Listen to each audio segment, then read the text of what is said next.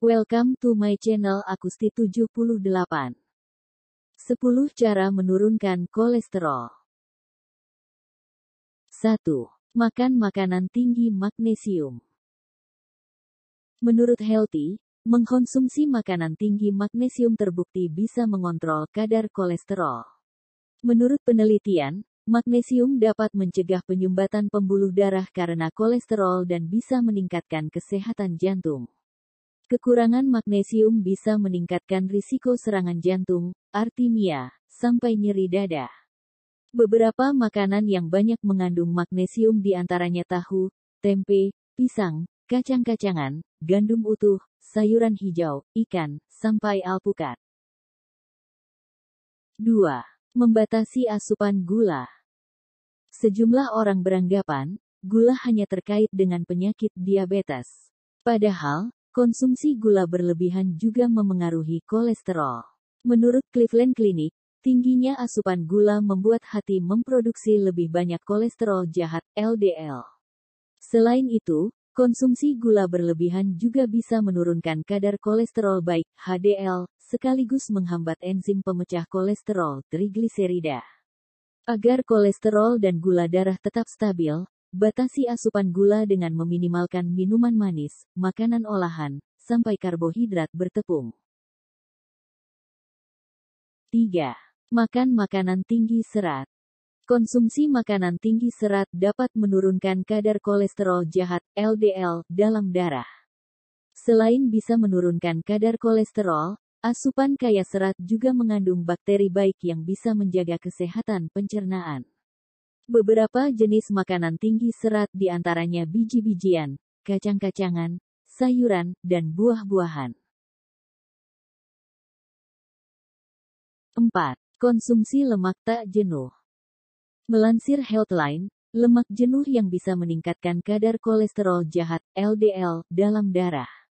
Sedangkan lemak tak jenuh menurunkan kadar kolesterol jahat LDL sekaligus meningkatkan kadar kolesterol baik HDL. Beberapa sumber lemak tak jenuh yang baik dikonsumsi di antaranya minyak zaitun, kacang-kacangan, alpukat, ikan salmon, sampai ikan tuna. 5. Hindari lemak trans. Lemak trans dalam jumlah kecil secara alami ditemukan dalam daging sapi, daging kambing, susu, dan produk susu seperti keju. Selain itu, Lemak trans juga terkandung dalam lemak tak jenuh yang telah dimodifikasi dengan proses yang disebut hidrogenasi. Pemrosesan tersebut membuat bahan makanan punya tekstur yang lebih baik, renyah, dan cita rasa lebih gurih. Beberapa makanan kaya lemak trans di antaranya gorengan, keripik, kerupuk.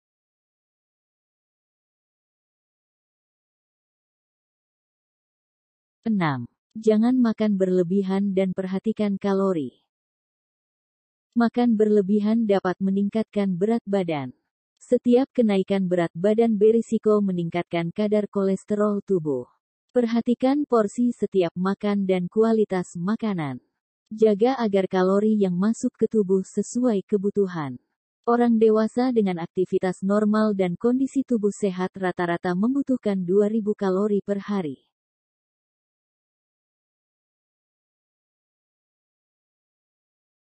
7. Aktif bergerak dan rutin berolahraga.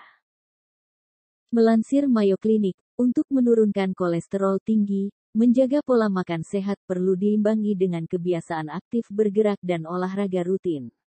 Penderita kolesterol disarankan olahraga selama 30 menit sebanyak 5 kali per minggu, dan lebih aktif bergerak. Olahraga dan aktivitas fisik dapat meningkatkan kadar kolesterol baik dan menurunkan kadar kolesterol jahat dalam darah.